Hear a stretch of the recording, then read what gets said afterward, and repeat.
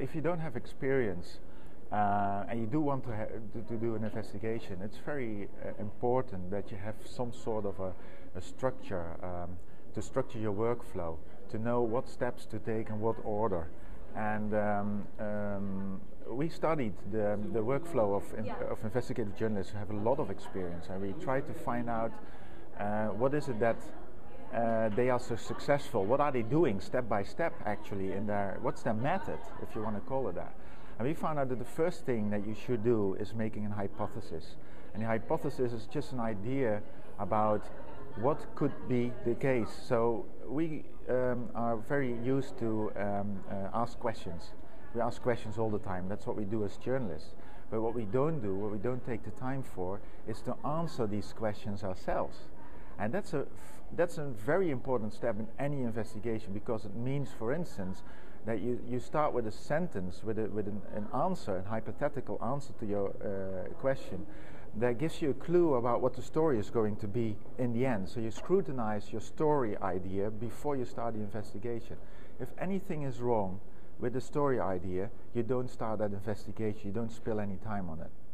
Another thing is it makes you more critical about your investigation because if I start interviewing people, I interview you about the subject and you give me an answer to the same question, and it's not the same answer that I had formulated myself at the beginning, I start uh, uh, uh, scrutinizing. I would say, okay, that's that's what you say, but couldn't it be true that it's also like this, or I think maybe it could be like this. So you get more discussion, you you you get more information from people doing this, and they get the impression that you are quite well informed, you know, because you thought about a possible answer before you started asking questions. So the hypothesis is a very, very strong tool. Uh, unfortunately, it's not something that journalists invented. Uh, I, I would it was true, we would be very rich probably. But something we, we, we got from, uh, we copied from uh, the social sciences, for instance. Um, detectives do the same thing when they are investigating cases. Um, and they already found it's a very strong tool. So that's tool number one. Step two is the chronology. Make a chronology of, of, the, of what, what has happened. So basically, when you have that one line, this hypothesis, you, you try to, to uh, cut it in smaller steps. You say, what must have happened to make this true?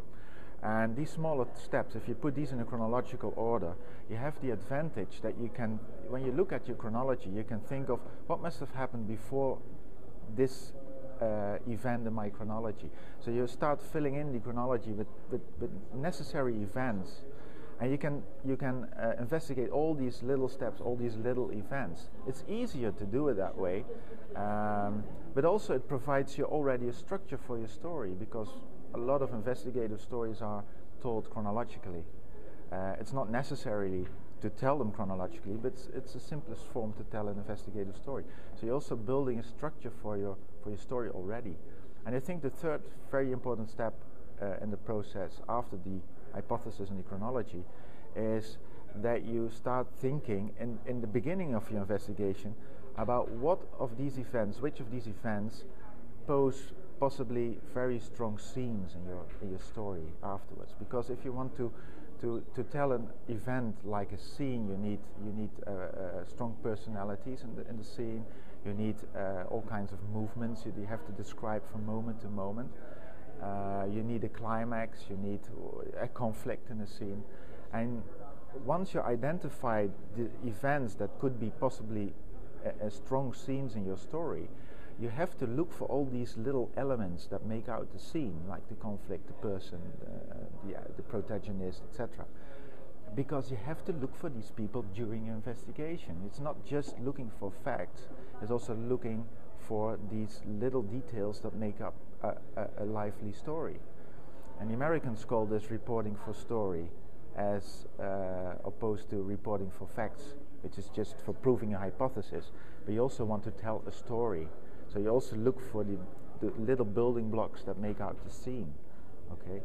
And maybe the fourth and last thing that we found out um, uh, that determines the success of, of, uh, of um, uh, investigative reporters is if they are able to put all this together in, in an organized way, let's say we call it a master file. It's just put everything you have, your questions, your hypothesis, your chronology, uh, the answers, your own impressions, put everything in one file. Do it in an organized way so you can look at, you can like look through it, you can search in it, you can sort it in different ways, you can share it with other people, uh, you can you can build a whole database around it. And um, we teach people how to build a simple, it's a quite simple database, but very, very effective. And uh, the, the, the advantage of this is that while you're building this master file, you're actually already writing the story because all the time you add things that you are going to use for your story. And this, this uh, uh, th these two things influence each other very much. Writing the story in your head, investigating the story are two tracks that are intermingled very much, and uh, they they um, enhance each other. So, and the master file helps this process of creativity, if you want to call it that. Yeah. So five steps. There may be more, but these five steps are very paramount in any investigation.